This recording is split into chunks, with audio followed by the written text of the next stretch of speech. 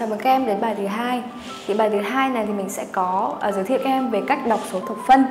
À, tiếng Anh thì uh, các em lưu ý số thập phân thì mình có tiếng Việt là có dấu chấm, mình gọi là chấm ví dụ 0.5, uh, 1.2. Đấy, tuy nhiên tiếng Anh thì chấm đấy là points.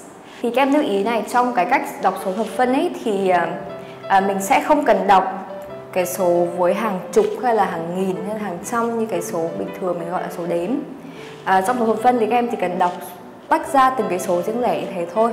Nó rất đơn giản như sau. À, thì ví dụ mình có những cái số như là 0.5 0.75 à, à, hay là 1.06 thì à, các em lưu ý nhé thì trong số thập phân những cái số mà cái chữ số mà đứng trước cái dấu thập phân mà nếu nó là số 0 thì các em có hai cách đọc. Một là các em thể nói là zero hoặc là bỏ qua cũng được không có sao.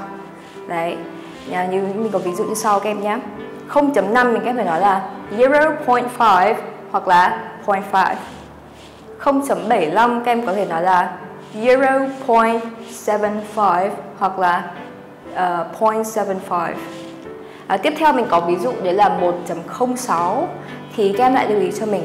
À, những cái số mà đứng sau cái cái dấu thập phân point thì các em không được lược cái số không đấy. Các em vẫn phải đọc ra bình thường.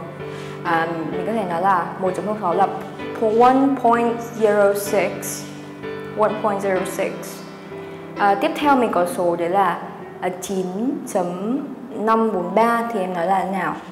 Các em sẽ nói là 9.543 đọc tách ra rất là đơn giản thấy như thế. À, và các em lưu ý thì cách đọc số thập phân thì um, đối với tiền thì mình lại không được đọc theo cách như này. À, đấy đấy là phần uh, à, đây là phần hướng dẫn là cơ bản về số thuộc phân cho em.